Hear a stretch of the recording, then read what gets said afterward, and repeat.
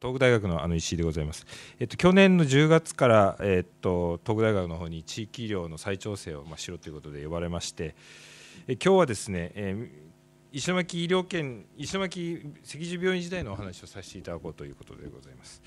でまずはじめにですね、えー、私ども宮城県のために全国から多大なご支援をいただきました。この場を借りて厚く御礼を申します。本当にありがとうございます。でそれではあれ？これこれでいくんですか？はいえー、石巻医療圏における対応から見えてきた課題ということでいきたいと思います。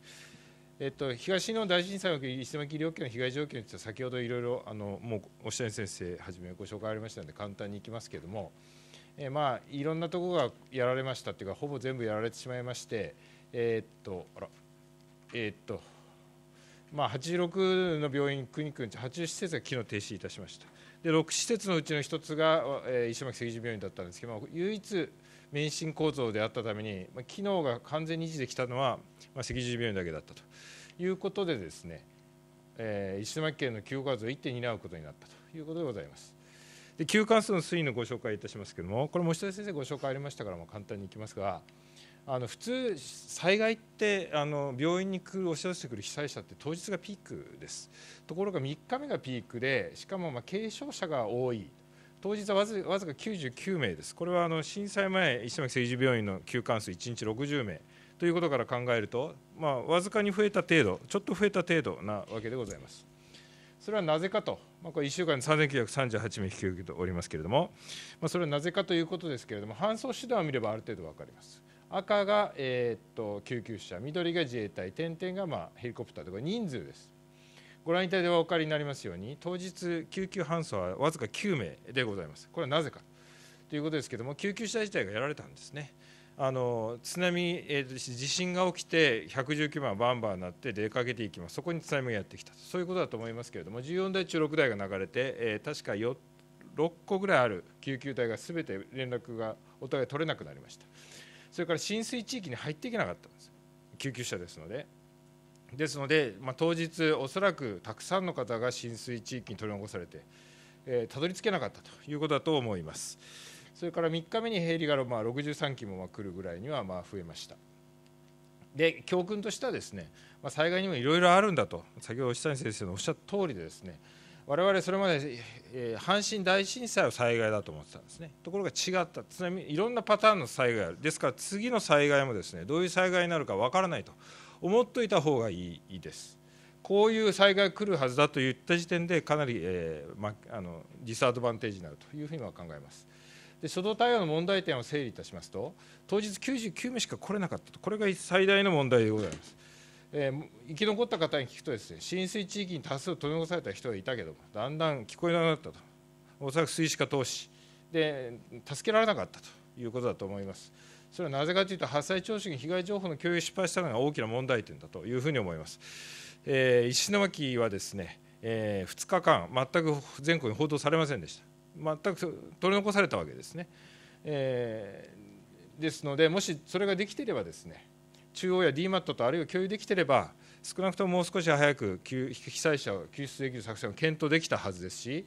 それからネット頼りにしてたんです。インターネットとか携帯電話とか今まで当たり前に使える通信ツールは使えるものだという前提に立って準備してたわけですけども我々は、えー、インターネット自体が使えな使えなくなっちゃったで唯一使えたのは、まあ、ちょっと無線とですね衛星携帯電話ですね。無線についても本当 MC 無線つって遠く仙台の方まで通信できるものであったはずなのがその基地基地局がバタって倒れちゃったんでその50キロ圏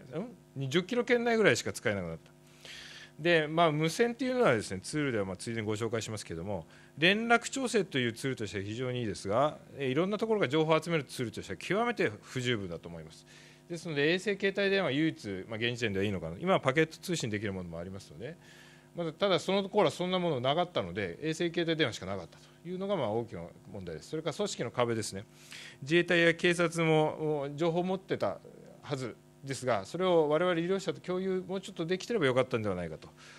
これずっと思ったんですけど実は2週間ぐらい前自衛隊の防衛省に調整協議いたしましたが自衛隊防衛省も自衛隊も2日間ぐらいは個々のカオスでですね個々の部隊でできることをやれという命令しか出せなかったと。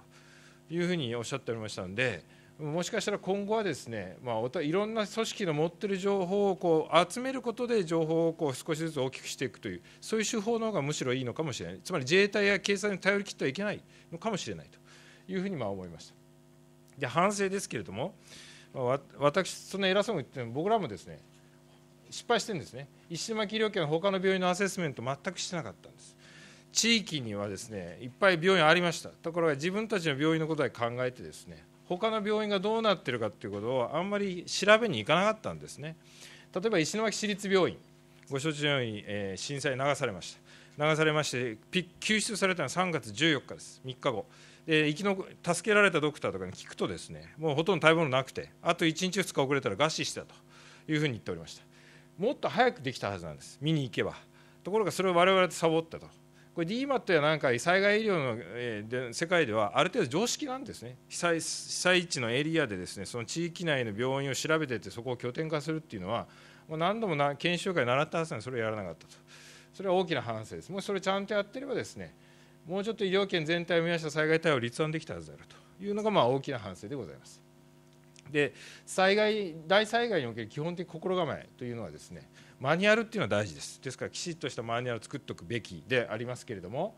それはあくまでも初動です。要するにトリアージエリアを立ち上げるとかそれ初動だけに有効であってそれ以降はですね応用問題連続なんですね。ですから全てをマニュアル化することができないと。思わないといけない、えー、全てを想定してしまうとですね想定外のことに対応できなくなると。こういうふうに思っておかないといけないというふうに思います。じゃあどうするかということですけれどもこうあるべき誰がやるべきではなくてですねどうするかどうしたらできるかというふうに、まあ、マインドを切り替えるしかないんですね。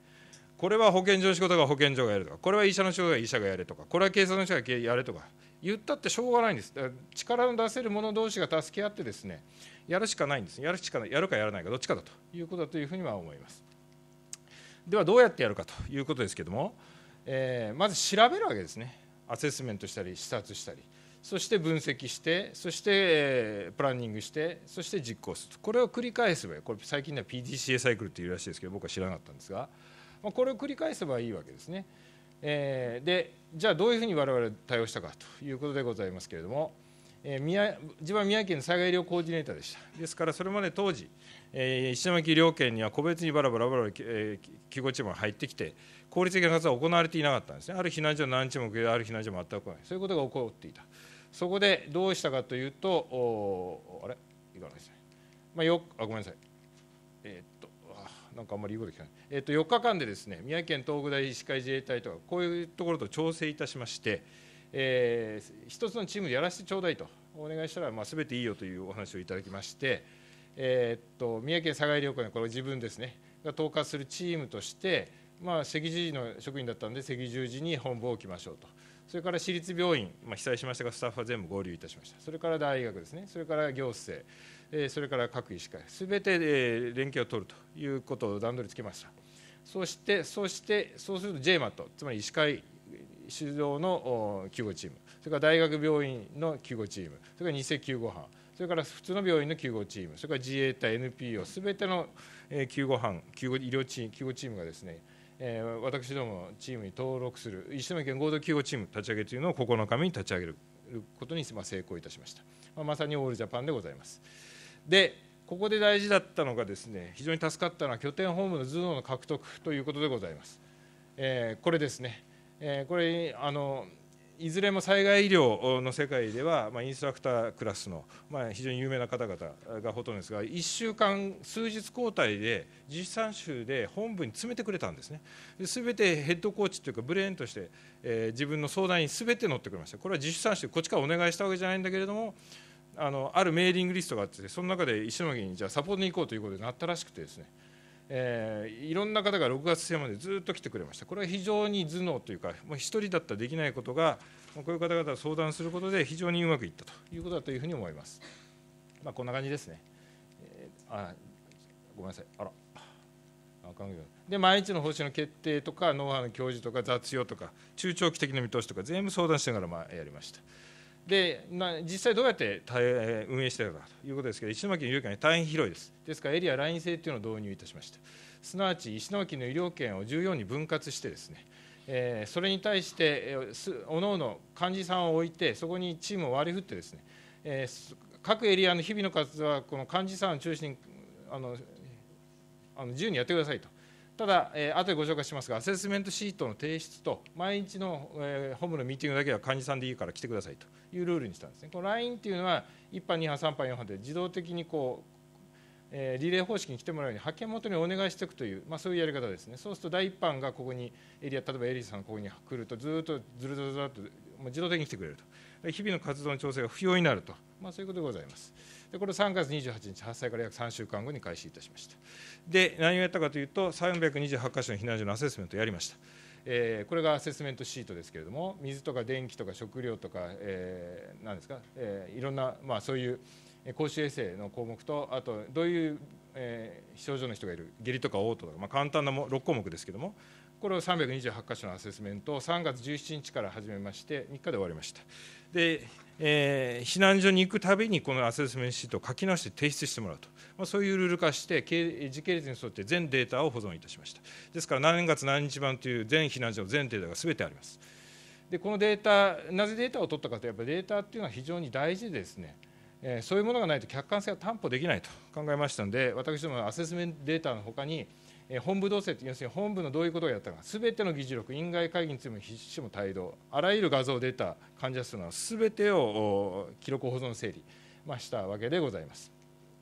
で何をやったかというと35箇所、えー、つまり初期アセスメント3月19日といって35箇所避難所食料足りないということが分かりましたので、これは行政に食料配給を要請してフィードバックしてもらったのと、あとはうちの病院に来てものをま可及的に配りました。それから100か所の衛生劣悪避難所、これは浄水も下水もないために手も洗えないし、排便したのは袋に入れて、そういう避難所が100か所あったと。いうことがこの時点で分かりましたので、ラップ式トイレという、まあ、自衛隊にも採用されている排便をこう個包装してラップするそういうトイレがあるんですけれども、まあ、そういうものを、まあ、国の東松島というところの、えー、倉庫にたまたま残されていたので、それを行政の許可を取ってまあ配ったり、まあ、最終的にはここの日本財団のご協力をいただいて、30台ぐらい追加したんですかね、本当にありがとうございます。えー、配ったり、それから手洗い装置ですね、まあ、水を入れてただ手洗い、それだけのものですけど、これ11箇所、それから、えーまああのえー、症状もモニタリしてますので、急にあの下痢が増えたような、まあ、そういう状況の変わったような避難所には感染に感染管理認定看護師で指導してもらったりとか、まあ、そういうことをしてました。でこれは症状の推移ですけども、えー、簡単な6個もこれぐらいしか調べてませんでしたけども、3月下旬がピークで、あらで結局、感染症の爆発っていうか、感染爆発は、まあ、石巻ではなかったということでございます。その他の主な施策としては、本院に、えー、唯一電気のついての本院に、まあ、多数の被災者殺到いたしますね、負担軽減のためサテライト救護所2か所、えー、これは3700名ぐらい診療しております。それから、えー、無意地域、さっきの5月も含めて無意地域に定点の救護所2か所設営して毎日救護チームを派遣いたしましたし、それから回復遅延地域ですね、ここには在宅被災者も利用可能な定点の救護所4か所設営して毎日救護チームを派遣して、あとは交通安置としてイオンにお願いして無料支援バスを出しました。それから6、えー、避難所内の要介護者のアセスメント、実際にやりました、避難所に寝たきりの人いると撤収できないじゃないかというふうに、まあ、ミーティングで突き上げられましたので、まあ、それを調べましてですね、あこれは今のイオンの車ですけれども、で市営の要介護用の避難所2か所の立ち上げのサポートをまあいたしました。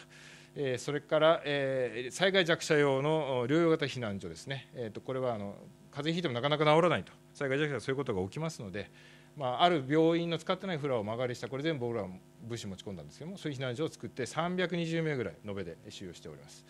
それから処方薬、うんと大変だったんで、後日デリバリーできるような、まあ、そういう仕組みをまあ構築いたしました。まあ、そういうことをやったりしまして、えー、9月30日で活動を終了しております。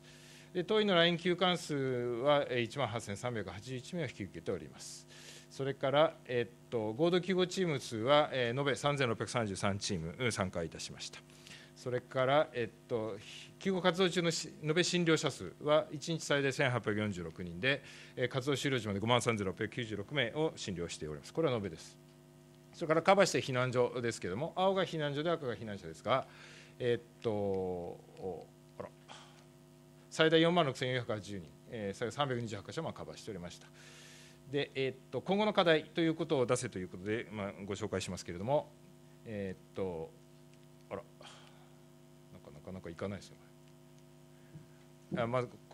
あこっちなんですね。コマンドコントロールですね。結局コマンドコントロールをどうするのか。指揮命令系統がないと災害対応というのはうまくいかない。地域拠点救護本部の構成はどうするんだと。リーダーは誰なんだと。保健所長なのかコーディネーターの DMAT なのか。あるいはロジスティックはどうするのか。本部には大変なロジの仕事がございます。それを誰がやるのか。日赤がやるのか。自治体がやるのか。DMAT がやるのか。ブレーンはどうするんだと。権限はどうするんだ場所はどうするんだと。あと県庁レベルの災害医療救護体制はどうするんだと。それから各階層間の連携はどうするんだと、まあ、いろんなことがまだ何も決まっておりません。これはこれから決めて標準化していかないと実際災害が起きたときにじゃあ誰がリーダーなのってはっきり決まってないとですね。これは迅速に物が回っていかないと。こういうことだというふうにまあ思いますね。それから2番目としてはですねさっき言った白菜朝食の被害情報の共有をどうするかということですね。中央と県庁と地域間どうするんだと。すぐ何でもすぐどんな時でも電話とかあるいは携帯メールができるようにしてくれと。あるいは同会そうな関係機関同士どうするんだと。被災地の医療機関同士はどうするんだと。この辺のことも考えていかないといけない。今現在実は日本総研とかと組んでですね、えー、どういう情報システムを作っていればいいのかというのを徐々に少し実証検証しようという動きになっております。でツールはどうするんだと、まあ、いろんな問題がございます。それから3番最後に3番目としてはさっき言った被災地のアセスメント戦略の標準化ですね。これは今回我々はその場で考えてやったわけですけれどもそれを標準化していった方がそれはいいに決まってるわけですね。えー、っとあら。誰が避難所の環境アセスメントを行うのかと。救護チームがやるのか保健所がやるのか自治体職員が行うのか。今回は我々救護チームがやりました。個人的には救護チームがやるのがいいんじゃないかというふうにまあ考えそれは後でディスカッションでまた言いますけれども。ツールはどうするの？か紙でやるのか？スマホ PC それ電子化できないのか？あるいは最後に、えっと、あら？アセスメントの項目表をこれも標準化してできれば全国標準共通のものにしといた方が、まあ、どの県の救護チームをやってきても慣れてるだろうというふうにまあ思いますね。えー、以上です。すいません。5分。なかなかこれ